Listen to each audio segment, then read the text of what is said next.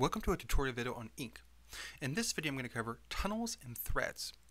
We're building off the concepts that were introduced in the previous videos in this series. In the first three lines here we see the introduction of a constant Dan, a variable fret count equals 0, and a variable freakout count equals 0. We also see the calling on line 5 here of two different functions, weather and day of the week. Let's pause here and go look at their definitions.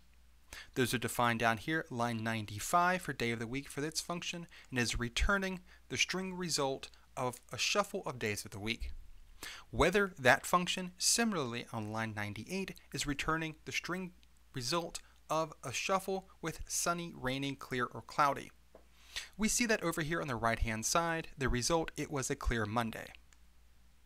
And that's line 5 we see the value of the returned result of the function call to weather and the value of the returned result from day of the week. Tunnels and threads, though, are two different approaches to the similar problem of labeled options and gather points. Similar to how we saw in the previous video of gather points that we could collapse options down and have a final using the minus sign option for choices that didn't divert anywhere else.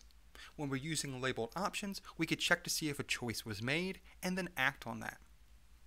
A tunnel, similarly, allows us to take a knot or a stitch and go to it and then come back as if it were a tunnel through the flow. So instead of branching off to a different path, we quickly go to it and then come back, acting similar to a tunnel. And so we can see the first use of that in this extended example right here on line 54. Notice it is using freak out, that knot, which I'll get to in just a second if its definition, as a tunnel. We know it's a tunnel because it has a double divert. So on line 54, we're diverting to the knot and then diverting back.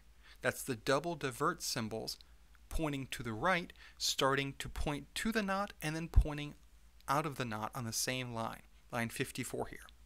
So when we get to that line, we're checking to see if we're going to freak out. And that's why I introduced the variables at the top, because those variables now come into play in this extended example. So we're using a tunnel here, divert to freak out and come back. Let's go look at freak out then. Freak out here, defined as a knot, starts on line 75. And we see, did I freak out over getting the food choice wrong? And we see a sticky choice no, a sticky choice yes.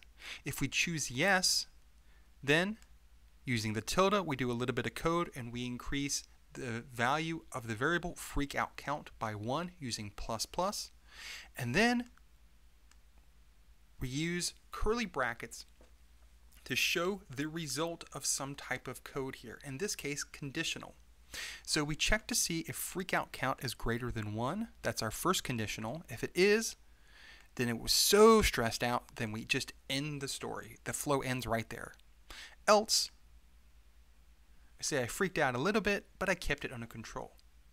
And then we return to that knot using that same thing we saw again, the double divert or a tunnel.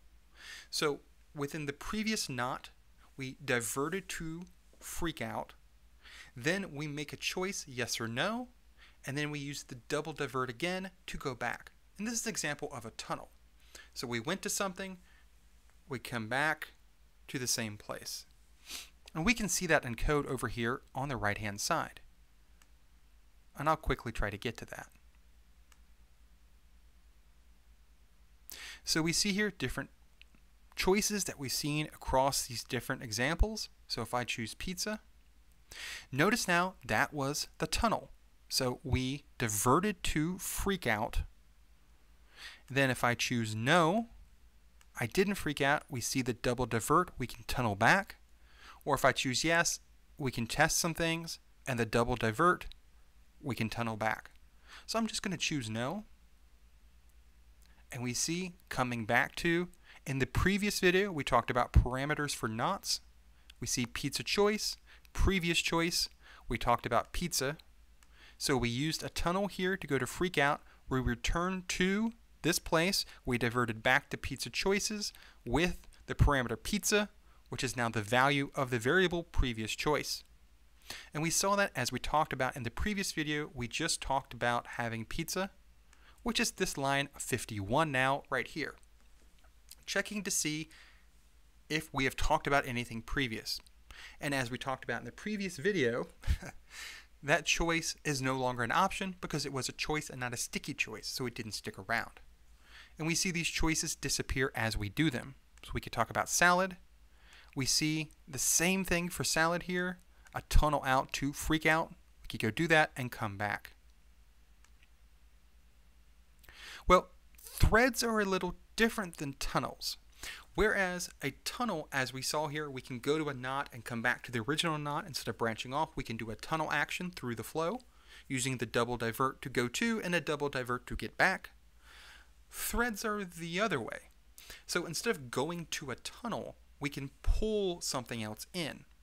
Using similar metaphors that ink used throughout all of this and describing a flow. So a thread is something we pull towards us. We see that on line 66 food choices points the other way. Instead of pointing to the right, which we're using as diverts to go to knots, and in this case, a double divert to go to tunnels, threads point to the left. That is, that is, and it's read as we're pulling the knot to this place. So we see that. We don't freak out over here on the right hand side, and now we go to sushi, we now see the content of the knot food choices because it's now a thread and it's being pulled into this other knot. So we saw here in pizza choices, we chose sushi. We see that sushi sounds good. We walk to a local sushi place, which is the content of that choice when we made it. And then we're pulling in the content of the knot food underscore choices. It's now a thread, as I said, and we're pulling that in. And now we see here food choices defined on line 70 has its own content. And we see that here, and now we see end of story because now we're diverting to the special keyword done. So we see here the two different uses of tunnels and threads. Tunnels we can use to go to a knot, do something, or show some different text, and route back. A double divert, as I said several times now. A thread is the other way. We can pull a knot in. Both of those allow us very dynamic uses of the flow within ink.